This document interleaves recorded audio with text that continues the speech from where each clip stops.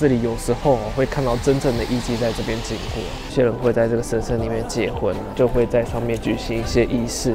这里就是清水舞台，是三个团子，然后加一个落水。京都宇治复古吃茶店呢，来到京都这间绝对是首选。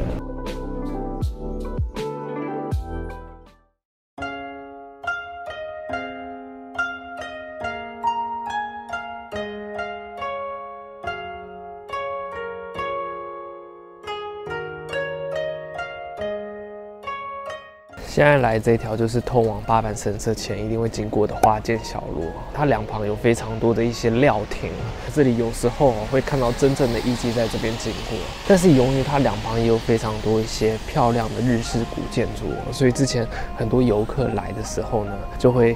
呃，可能大声喧哗，或者用手去触碰旁边店家的一些灯笼，或是随意的拍照一些遗迹啊。所以之前新闻也有讲说，就是当地很多的店家，他们就有贴一些警告标语，告诉说啊，观光客不要这样子。然后之间有很多一些不愉快或是误会事情发生。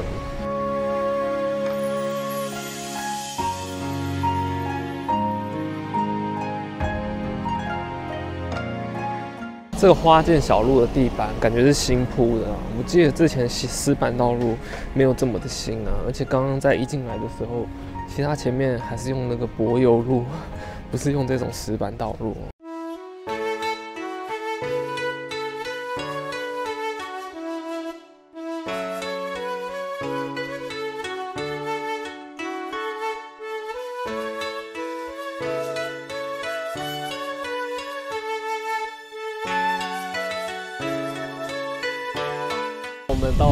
八坂神社了，好久没来，今天的人好像呢也不多。那这个八坂神社呢，它每年有一个非常隆重的祭典，也是日本三大祭，叫做奇缘祭。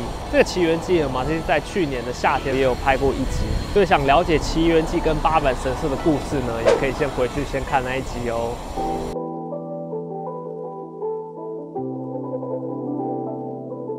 我想来八坂神社买一个玉手，我的玉手当中呢，好像还缺少八坂神社。旁边也有很多的屋台，卖好多东西。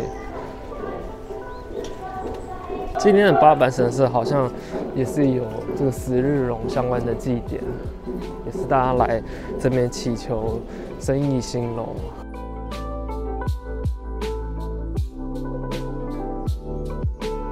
后面那个地方就可以买玉手。那我有看到一个表，它是令和五年的厄运表。令和五年就是二零零三年嘛。那今年厄运的年呢，男生是二十五岁、四十二岁、六十一岁，女生是十九岁、三十三岁、三十七岁，所有的岁数都要包含算上这个虚岁啊。所以呢，如果你刚好今年是这个二年表的话，就可以来神社这边稍微祈福一下，或者是消灾啊，有点像是安太岁的感觉。后面就是八坂神社参拜的本殿。不过我记得之前它前面那个铃铛好像是可以摇的，它现在好像把它收起来了，不行了，就只能投个香油钱，然后在前面稍微祈祷祭拜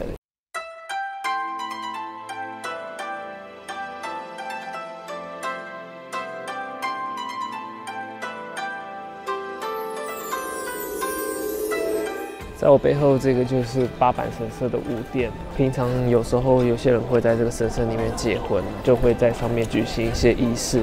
大家可以看到，今年是兔年，所以后面中间有一个这个兔子的板子，相当的可爱。我觉得八坂神社晚上的那种感觉，好像比白天还要来的漂亮。就晚上的话，后面这个五殿，它上面所有的灯笼啊，全部都会打开啊，我就。在这种非常漆黑暗暗的地方呢，这些灯笼就会显得格外的神秘啊。现在他们的租赁都不现场的收钱，好像都是直接用已经写好的一张纸这样子给你。也有非常多签可以抽啊，上次是抽恋爱的，旁边这个是抽夫运的。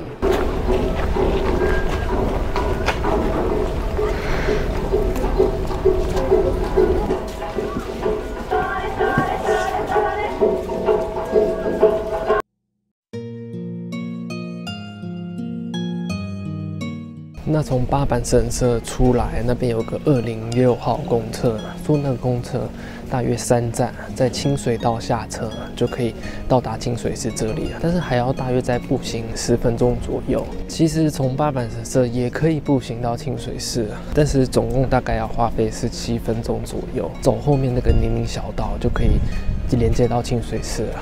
但是我建议大家可以还是先坐巴士过来。如果你一天在京都的时间够的话，你可以回程的时候再走。爬这坡好累啊！哇，旁边好多游览车哦，观光团都来了。终于走到了清水坂。我刚那个坡真的，平常没在运动，走几步气喘如牛啊。这边再往上走呢，就可以到清水寺了。我看两旁的店铺开的也蛮多的，不过有些店呢好像在装修，所以有新的店可能要准备开始在这边营业啊，也有旧的店可能已经没做。到了关公的清水寺，虽然现在季节已经是一月了，有点偏冷，不过还是可以看到很多那种旅游的人啊，还有一些穿和服的人。这个清水寺呢，马自一之前也有做一集哦，有讲他过去的一些故事跟历史的，那一集比较详细。如果有人想了解的话呢，可以回去看那集影片。今天呢，就大概带大家稍微逛一下清水寺内部啊，然后看一下现在观光开放了。现在清水寺观光客的现况是怎么样？清水寺是在枫叶期间的时候呢，人潮会特别的多，尤其那个时候又刚好是日本的旅游旺季，也是全部人要来日本最好的一个季节，所以那个时候的清水寺，哇，人真的超级多的。不过相对的，在后面的一些枫叶树啊，也会相当的漂亮。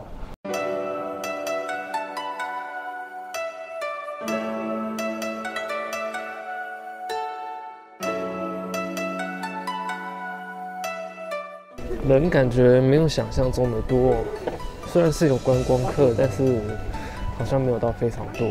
我想可能是今天天气的关系，因为今天天气真的不是很好，有一点阴阴的，而且早上还下雨，刚还有很强大的风在吹。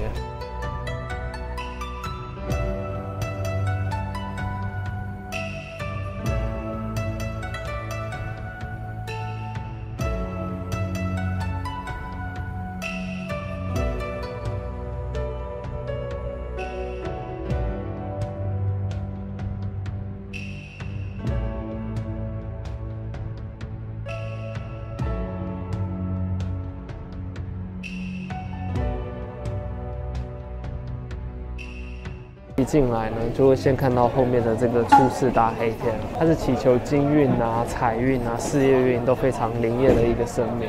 这里就是清水舞台，从这边看过去，后面的风景真的很漂亮。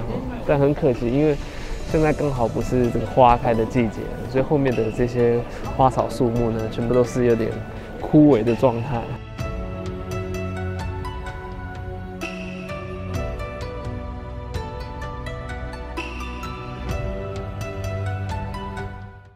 后面有卖很多清水寺当地的玉手，那每一个大概是四百块到五百块左右。我看到有一个玉手还蛮特别的，叫做头痛手，应该是你如果有这个头痛啊，或者睡不好的话，你可以买那个玉手，它只要一百块而已。哇，好可惜哦！清水寺里面还有一个地主神社，也是超有人气的，是祈求良缘呐，还有这些姻缘非常有名。但他现在因为在修复公司当中哦，所以就没有开放给大家进去了。不知道到什么时候，他也没有写。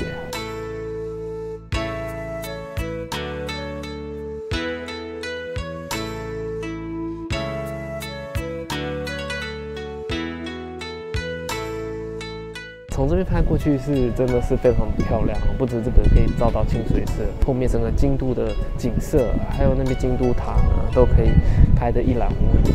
但我觉得如果可以的话呢，去穿一个和服在这边，其实更有味道，那种感觉，照片更漂亮。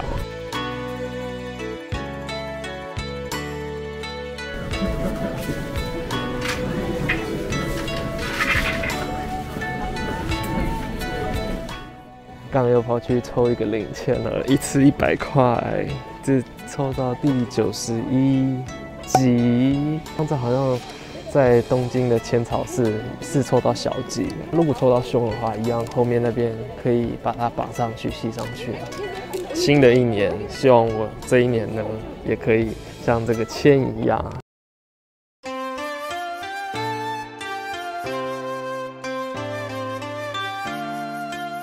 后面那个就是清水寺的映雨瀑布。其实这三道泉水哦，分别代表不同的含义。最一开始其实它是用那个勺子去接中间的泉水啊，然后是要直接喝下去的。但是这几年因为疫情的关系嘛，怕感染，所以现在就改为稍微洗洗手而已。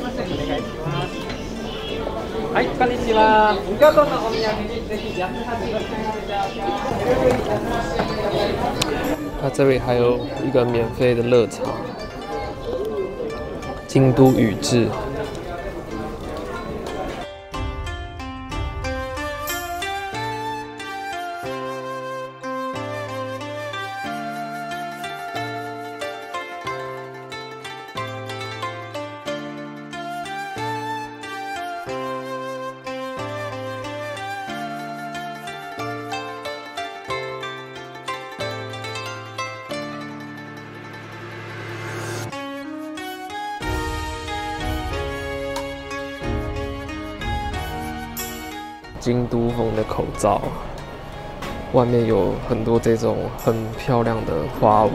如果你是穿和服的话，我觉得戴这个会很好看。也有像这种汉字的小吊饰，可以自己找，有没有你自己的名字？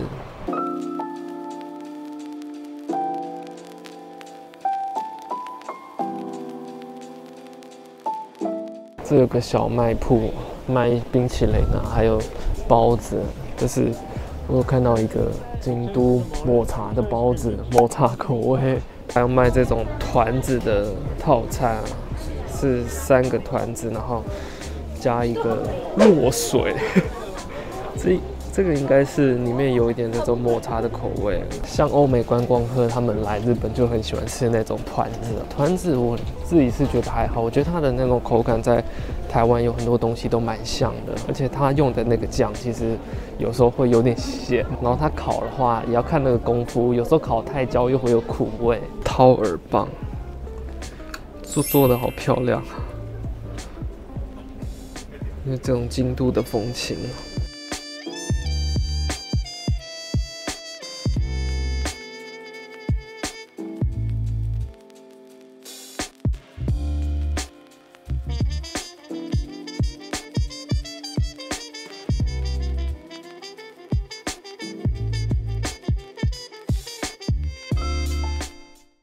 现在又坐车回到了四条这边。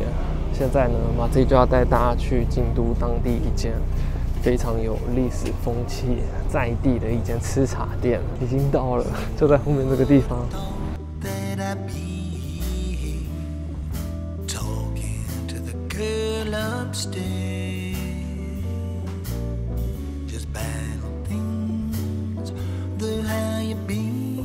这里有很多种的蛋糕种类可以选择，像我点的就是这个，这是澳洲产的起司，Baked Cheese Cake。餐点可以单点咖啡，一杯是七百块。旁边的话还有套餐，套餐的话它就会附一个蛋糕跟一杯咖啡或者红茶，是一三五零。那我今天呢就是点这个咖啡，还有一个蛋糕。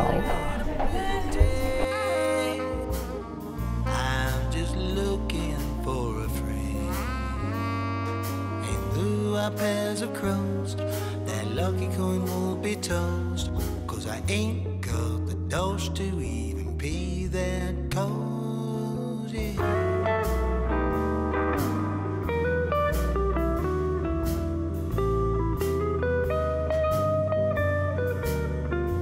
哇，那咖啡真的很好喝，而且糕点也很好吃。如果你是喜欢日本这种复古吃茶店呢，来到京都这间绝对是首选。那这间店的全名呢叫做弗朗索瓦 Kisashi 其实刚没有说，它也是历史非常悠久的一间店。早在一九三四年的时候呢，当时它就在京都的四条小桥附近开店了。最初它就是里面可以听一些古典乐啊，然后喝一杯咖啡啊，所以也吸引很多这种喜欢文艺啊或是古典乐的学生到这边。那我们现在看到的这个外观是它之后重新改建过的。有点这种大正时期、大正浪漫的感觉。来日本这些复古吃茶店，其实品尝它的糕点跟咖啡味道，我觉得倒是其次，最主要是去细细欣赏每一间店它里面不同的装潢风格，还有它背后的故事。像这间弗朗索瓦 Kisashi 子，它整个咖啡厅就是以豪华船舱里面的客舱作为打造。所以，我们刚刚走到中心往上看的时候，上面有一个圆形拱顶的天花板，这旁边还有一些文艺复兴时期的这种凹凸形状的一些柱子，后面还有很多的欧式台灯啊，跟一些彩绘玻璃。据说这些室内装潢啊，是从开店至今呢一直以来都没有变过的，所以真的相当有那种味道。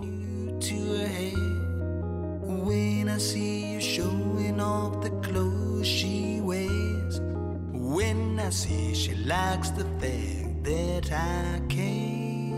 Who would have thought that I'd be here talking to that girl upstairs?